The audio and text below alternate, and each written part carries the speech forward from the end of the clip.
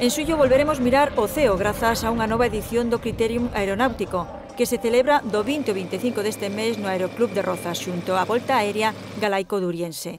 Trátase dunha oportunidade excepcional para chegarnos ao mundo da aviación sen desplazarnos fora da nosa provincia, e non só como espectadores. Dásenos a oportunidade de participar activamente e coñecer de primeira man diversas aeronaves. Isto é un, un criterium que ten un acercamento mm, uns cuantos días a algo que do contrario pois, non é posible. O longo dos cinco días haberá vos divulgativos, a presenza de helicópteros da Policía Nacional, Garda Civil, DXT, Exército de Terra, Sasemar ou contraincendios, carreiras de drons, exposición de aeromodelismo ou actividades para nenos.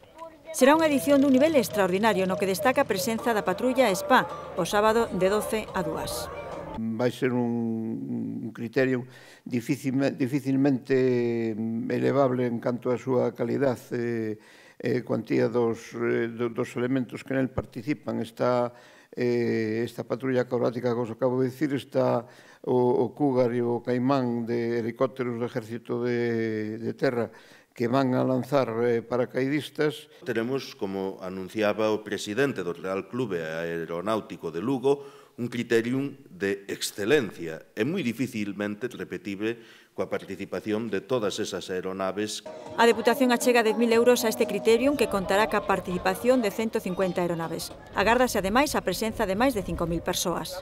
5.000 persoas significa unha importante inxección de consumo que ten unha reversión que ten unha, eh, un impacto na economía da, da contorna da que se celebra, e de máis alá, de, de onde veñen, que veñen pois facendo o seu gasto moi superior ao das axudas públicas que reciben. Isto é unha oportunidade económica para Lugo, porque o número de persoas que se achegan se incrementa cada ano e pernoctan na nosa cidade.